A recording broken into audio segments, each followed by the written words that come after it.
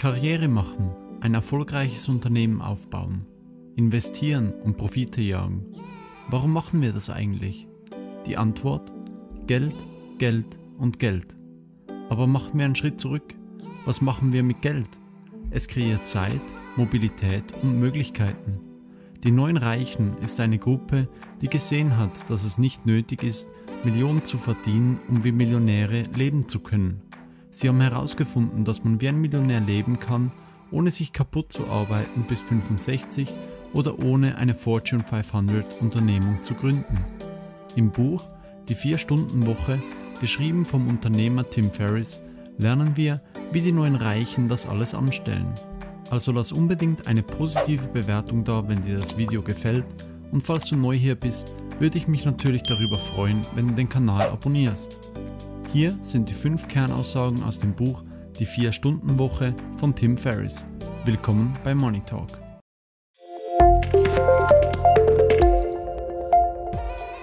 Kernaussage Nummer 1. Der Schritt-für-Schritt-Prozess der neuen Reichen. Generiere Zeit, Mobilität und Möglichkeiten, ohne von Geld abhängig zu sein. Tönt nach einem verdammt guten Deal, oder? Und darum wird die Strategie dorthin zu gelangen auch mit Deal abgekürzt. Das Leben ist Ansichtssache. Nur weil jeder einem 9-to-5-Dogma folgt, heißt es nicht, dass du das auch machen musst. Nicht alle können der Strategie von Tim Ferriss folgen, aber hoffentlich klappt es für dich. Das D steht für Definition. Als erstes müssen wir unsere Ziele neu definieren in einem Spiel, in dem wir seit langem in die Irre geführt werden.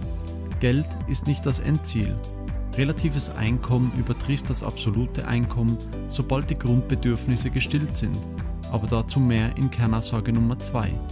E steht für Elimination. 24-7 auf Trab zu sein, wird oftmals als ambitioniert angesehen. Tim Ferriss teilt diese Meinung nicht. Es geht darum, so zu denken, wie es eine faule Person machen würde. Das bedeutet, so produktiv wie möglich in der kürzesten Zeit zu sein und dazu gehört auch unproduktive Tätigkeiten auszuschließen, die wir in Kernaussage Nummer 3 besprechen. A steht für Automation. Outsource, Outsource, Outsource. Keine vergeudete Zeit mehr mit sich wiederholenden Aufgaben. Wenn du deinen Stundenlohn auf sagen wir 20 Euro schätzen würdest, dann macht es doch durchaus Sinn, wenn jemand anders deine Aufgabe für nur 7 Euro in der Stunde übernimmt. Auch dazu mehr in Kernaussage Nummer 4. L steht für Liberation. Skifahren ist besser in den Alpen. Surfen ist besser in Costa Rica. Tauchen ist besser in Australien und die Schokolade schmeckt am besten in der Schweiz. Warum sollte man sich also auf eine einzige Örtlichkeit beschränken wollen? In Kernaussage Nummer 5 zeige ich dir die Tipps, die Tim Ferriss für dieses finale Puzzleteil, die Mobilität, auf Lager hat. Kernaussage Nummer 2 Relatives Einkommen übertrifft das absolute Einkommen. Okay, also D steht für Definition und es geht um eine Neudefinition von Reichtum und Wohlstand. Wer ist deiner Meinung nach reicher? Der Investmentbanker, der eine halbe Million im Jahr verdient und 80 Stunden in der Woche arbeitet?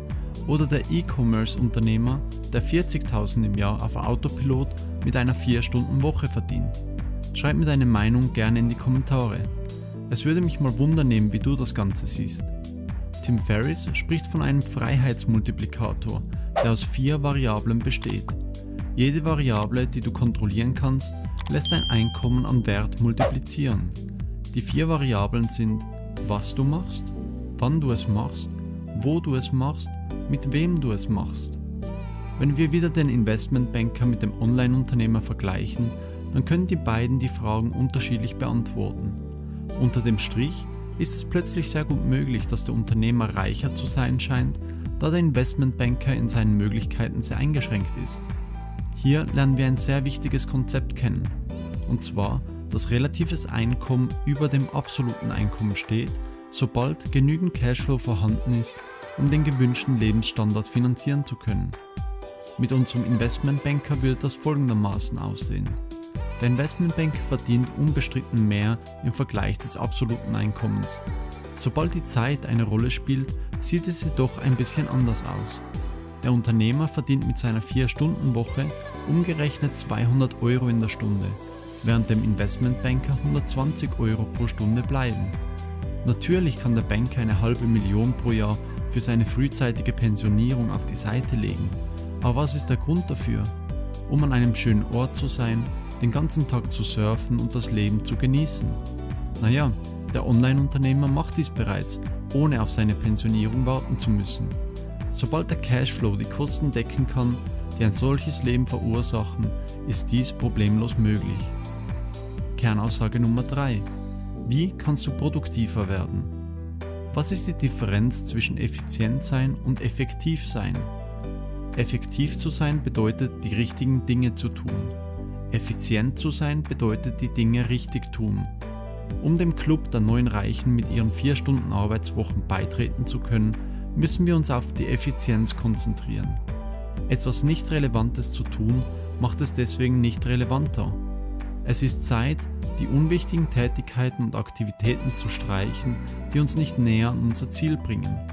Es gibt zwei großartige Modelle, die wir im Hinterkopf behalten sollten.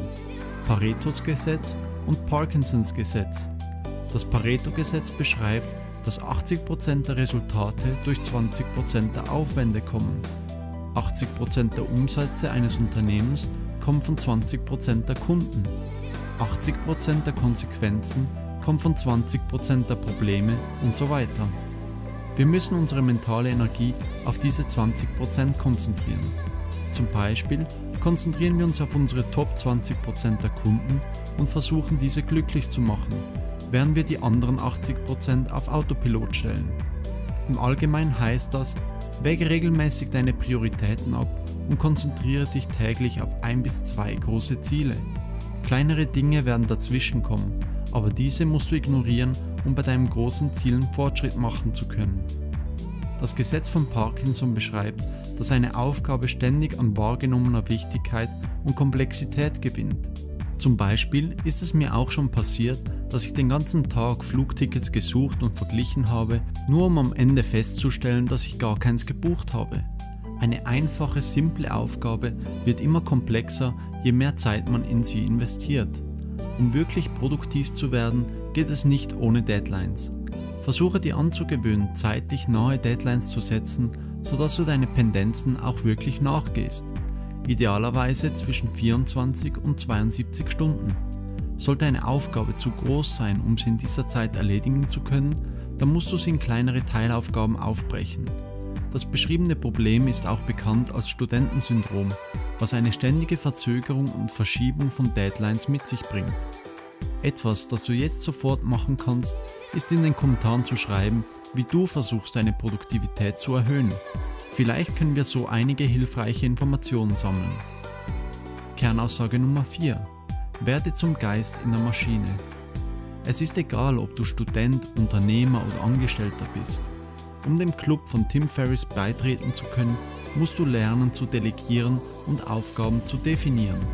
Ersetze und multipliziere dich selbst. Du kannst einzelne Aufgaben outsourcen, indem du entweder Computer oder bestimmte Software einsetzt oder indem du jemanden findest, der die Aufgabe übernehmen kann. Wenn du jemanden für eine Dienstleistung bezahlen musst, dann kristallisiert sich schnell heraus, welche Aufgaben wirklich erledigt werden müssen und welche nicht.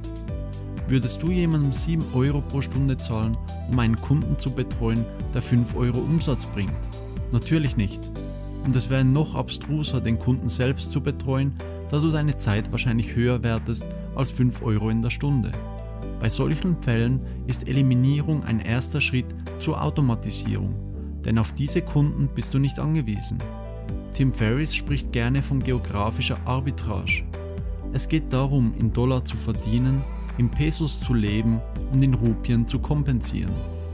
Hole dir einen virtuellen Assistenten von Fiverr oder Upwork, für zeitintensive und wiederholende Aufgaben und setze die Bezahlung für erledigte Aufgaben und nicht für geleistete Stunden.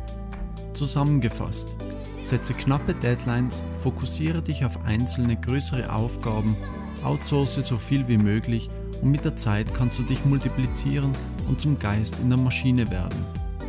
Kernaussage Nummer 5. Kreiere unbeschränkte Mobilität. Ja, auch als Angestellter. Für Unternehmer sollte nach der Eliminierung und Automatisierung der Fokus auf der uneingeschränkten Mobilität liegen. Ein gutes Beispiel hierfür ist ein internetbasiertes Unternehmen. Für jemanden, der irgendwo angestellt ist, kann dies ein bisschen schwieriger sein. Du kannst nicht einfach zu deinem Chef gehen und ihm erklären, dass du ab jetzt vom Strand in Rio de Janeiro aus arbeiten wirst. Auch wenn dank Corona die Sensibilität für Homeoffice und so weiter verstärkt wurde. Nein, Tim Ferriss beschreibt fünf Schritte, mit welchen man sich langsam aus dem Büro zurückziehen kann. Schritt Nummer 1. Zusätzliches Investment. Suche nach Kursen und zusätzlichen Trainings, die dir als Angestellter zur Verfügung stehen. Du möchtest, dass deine Firma so viel wie möglich in dich investiert. Schritt Nummer 2. Zusätzlicher Output. Versuche einen Tag Homeoffice zu machen und strenge dich an, sodass dieser Tag richtig produktiv sein wird. Schritt Nummer 3. Quantifiziere den Vorteil gegenüber der Firma. Zeige deinem Vorgesetzten, wie produktiv du warst und was dies der Firma für Vorteile bringen würde. Schritt Nummer 4. Probephase. Schlage deinem Chef eine Art Probephase vor, in der du für zwei Wochen von zu Hause aus arbeiten wirst. Stelle sicher, dass du an diesen Tagen alles gibst und so produktiv wie nur möglich bist. Schritt Nummer 5. Verlängere die Abwesenheit. Nach einer erfolgreichen Probezeit kannst du die Zeitperioden, in denen du abwesend bist, langsam verlängern, bis du gar nicht mehr im Büro sein musst. Top! Fassen wir das Video nochmals kurz zusammen. Um den neuen Reichen zuzugehören, bedarf es einem 4-Schritte-Programm mit der Abkürzung DEAL. Relatives Einkommen steht über dem effektiven Einkommen, sobald du genügend Cashflow hast, um deinen Lebensstandard decken zu können.